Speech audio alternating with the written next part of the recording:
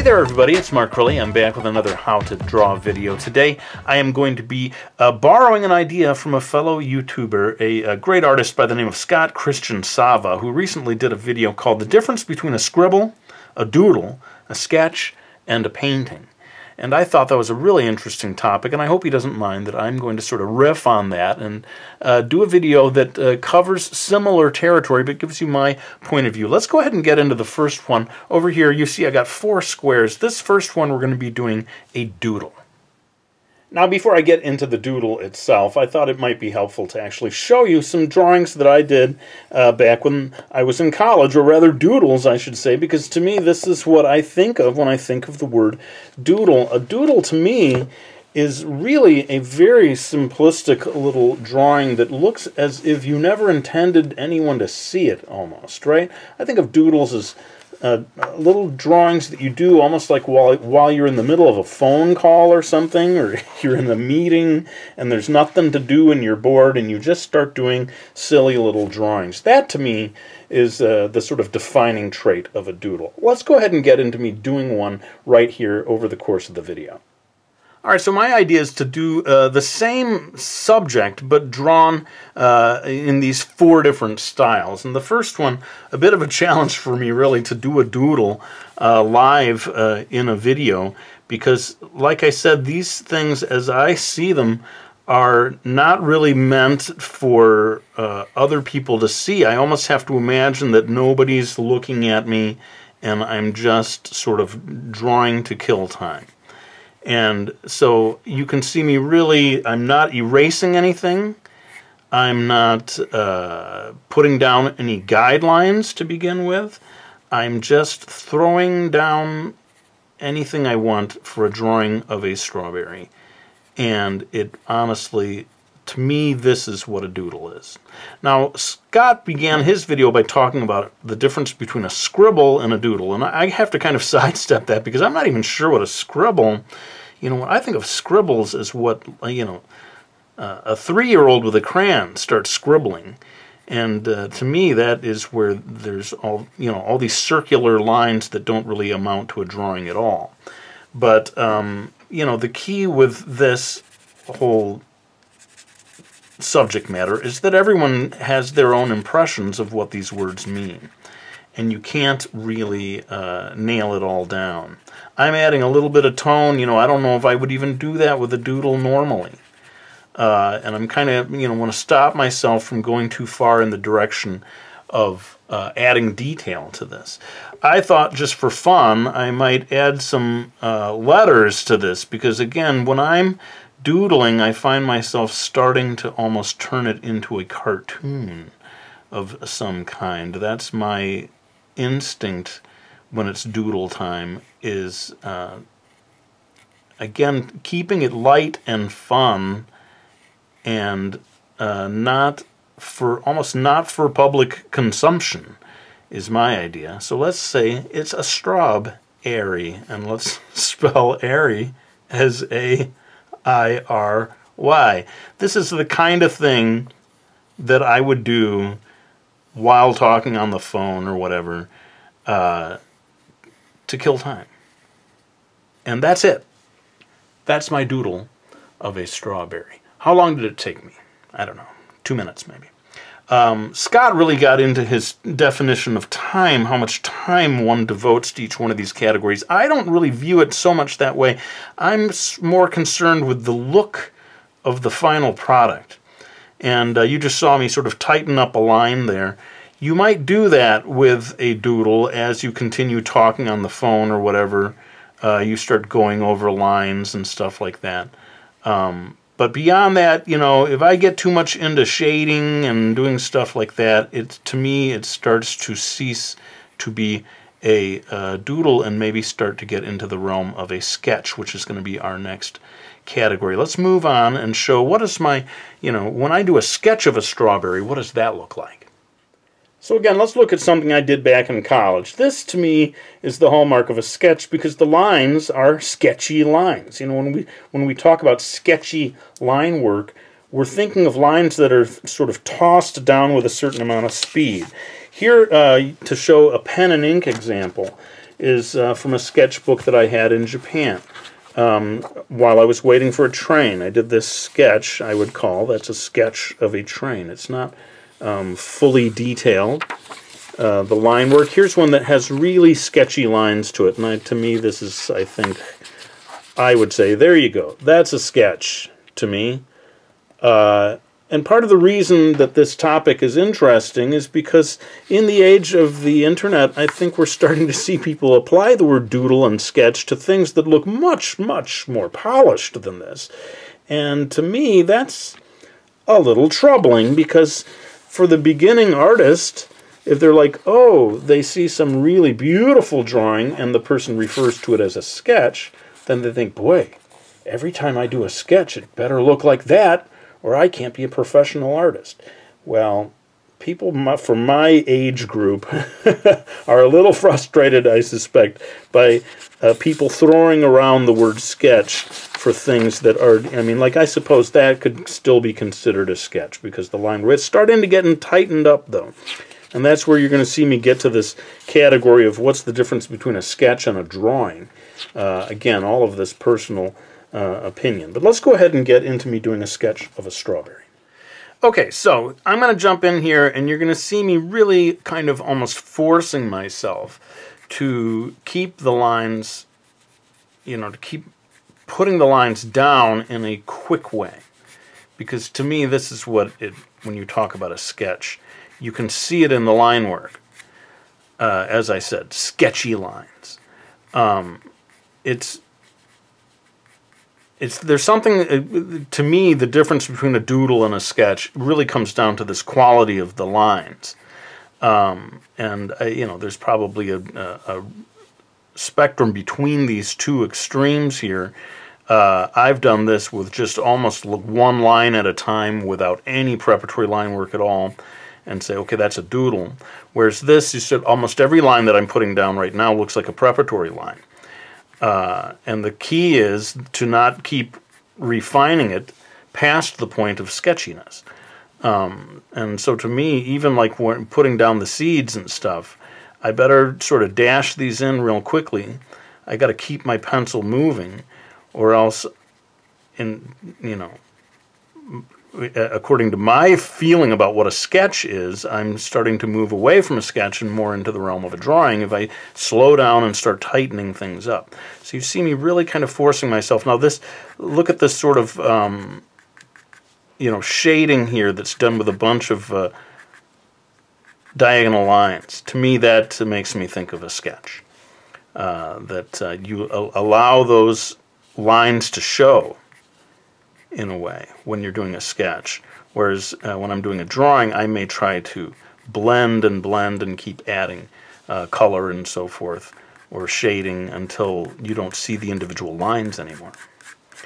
Um, I want to take a moment to say thank you to um, uh, one of my followers on Twitter uh, by the name of Tavona or Tavana, uh, who uh, was the one who showed me Scott's video and and uh, if not for her, I don't think I would have had this idea. So thanks to to Vanna and also to Scott, as I said, for kind of setting this one in motion for me. It is interesting, you know, like as I said, Scott's approach was to say, hey, this is it's uh, a lot of it is about how much time is devoted, and he he sort of laid down these, to my mind, surprisingly specific. You know, this like a doodle takes five minutes, and then a scribble takes three minutes, or you know, I am kind of exaggerating there, but he he had in his mind a very clear idea um, of how much time was needed for each one. To me, I hesitate to say how much time is involved more to what what do the lines look like in the final product. You know, you can see me sort of dashing it in here trying to almost force myself to go quickly uh, so that it still qualifies as a sketch to me. You know, I, I might start to get a little bit of shading here and um, modeling, you know, to, to make this look a little more three-dimensional. Um, but I'm already starting to feel like you could just stop right now and say, there you go, there's a sketch of a strawberry. It has that sketchy look to it and certainly maybe just for the purposes of this video, I may just stop. I feel like it's almost too undercooked in a way for me to say it's, you know, there you go, there's my sketch of a strawberry. But you guys get the idea. And again, the key thing is that I think we got to take with a grain of salt these people on the internet who said, oh, here's a sketch I did this morning. Uh, and they'll show something. Well, here I'll I'll pull an example from my own work of the type of thing that I've seen people on the internet referring to as sketches or doodles. Okay, so here I'll show you two or three things that I've created that I would never in a million years call a sketch or a doodle, but I've seen comparable work referred to as sketches uh, and doodles uh, on the internet.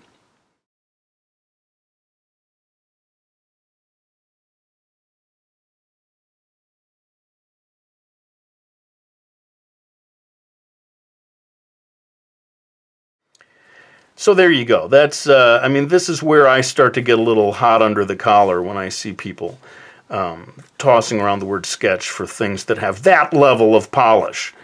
Uh, and, um, you know, I'm going to have to actually move on to this next one and tell you, hey, I'm not going to be able to do this real time. This next one is going to be all time lapse because for me, a drawing takes a little more time. Okay, so I'm going to go ahead and start my uh, stopwatch here, and then we're going to find out how much time uh, did it take me to do this version of the strawberry that I'm going to call a drawing.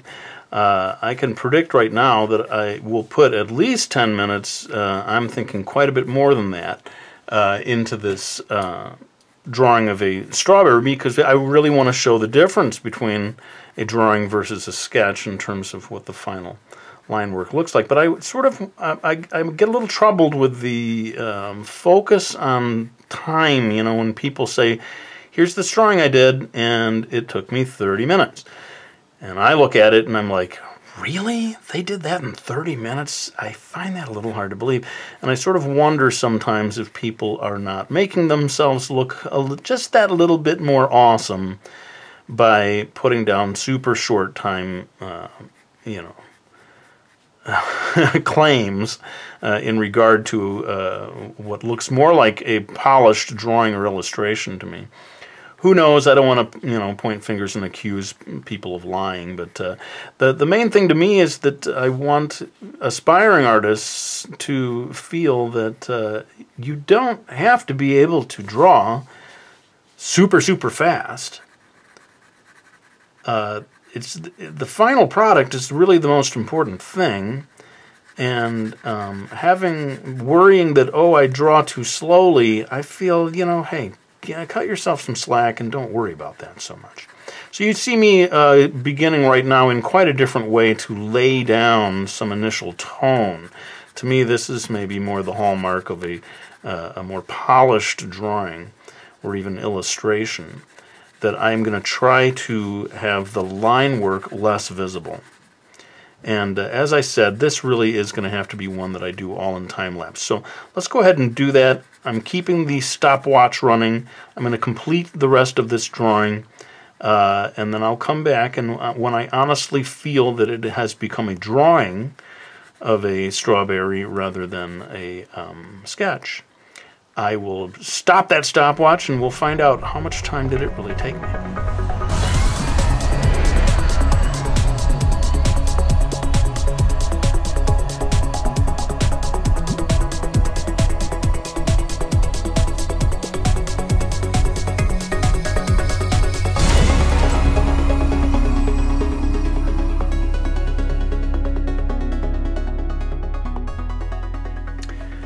Right, well, it turned out to take me just a little over 20 minutes to uh, do this uh, drawing, as I would call it, of a strawberry. Now, if anybody presented something like this to you and said, oh, here's a sketch that I did of a strawberry, I would say, boy, I don't know if this is the right use of the word sketch because it's I've spent quite a lot of time polishing, refining, getting rid of uh, you don't see the sketchy lines. You know, there's uh, it's pretty much to me. This is where we uh, begin talking about a drawing rather than a sketch. But again, all of this is largely a matter of opinion. Let's go ahead and move on to the last one, which is uh, what I'm calling the illustration level.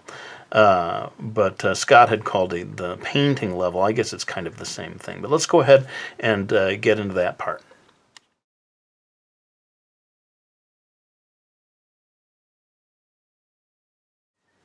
Alright, so I've mixed up a little red paint, and I'm going to just go ahead and jump in here and start laying the groundwork uh, of what I'm calling the illustration version of a uh, strawberry. Now, of course, the the drawing that you just saw over there to the left could uh, also be considered an illustration if it was illustrating, say, a black and white uh, cookbook or something like that. So, you know, these words get a little slippery. Illustration really uh, is related to illustrating a book. That's the world that I come from, really. And that's why uh, I thought I would use that. I mean, the word painting, as Scott referred to it, you know, traditionally refers to actual uh, paint. Of course, now we've entered the realm uh, or the age of digital painting, so that uh, certainly is, you know, a legitimate use of the word uh, painting, but um, for me, uh, all of these things are sort of words that uh, artists use in different ways, and so especially at this level, um, the difference between a, uh, a drawing and an illustration or a painting um, really becomes starts to become a matter of opinion almost. Uh, I suppose drawing is going to keep us within the realm of pencils again, traditionally. So you could have a colored pencil drawing uh, that actually looks more detailed and more three-dimensional than a, uh, a painting, you know, that's done in a more impressionistic way. So all of these words really um, start to overlap, and, uh, and anyone who tries to tell you, oh, this is, uh, you know, uh, there's a hard and fast rule for how much time is uh, devoted for you know like I was really kind of surprised that Scott was sort of like saying well this is how much time the exact amount of time almost or a really tight range of the amount of time required. But he actually poked fun at himself at the end of his video in which he was saying this is very scientific and then he had the voice from off screen say no he's lying that's not. So uh, cut and dried as that. Uh, you know, we're within the realm of art. But anyway, I'm going to go ahead and uh, kick it into time lapse and spend, you know, we'll see how much time it takes me uh, to complete this uh, illustration version of the strawberry.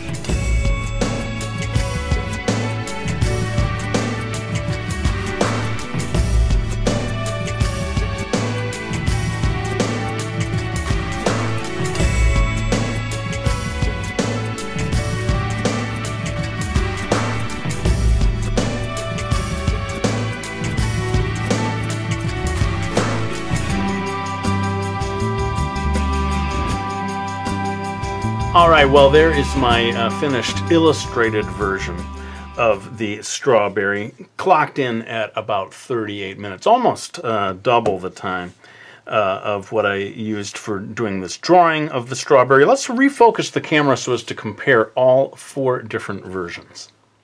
Okay, so there you see the four of them side by side. This is what I think a doodle looks like and a sketch and a drawing and an illustration or a painting. Um, I really do think it's important to preserve the meaning of the word sketch and doodle in particular. Uh, people certainly have started throwing them around for much more polished, finished looking illustrations, and it troubles me quite frankly. But before I end this video, I want to say thank you to anyone who has supported me by getting any of my books, like the Realism Challenge. This one teaches you some of those techniques you saw in the illustration, whereas the two-pencil method might be more uh, for the drawing version. And of course, there's Mastering Manga 1, 2, and 3, my books that show you how to draw in a manga style. Uh, thanks so much for watching this video, my friends. I think before I end it, I have to always lay down my pencil. I want to thank you all for watching this video. I really hope you enjoyed it. And I'll be back with another one real soon.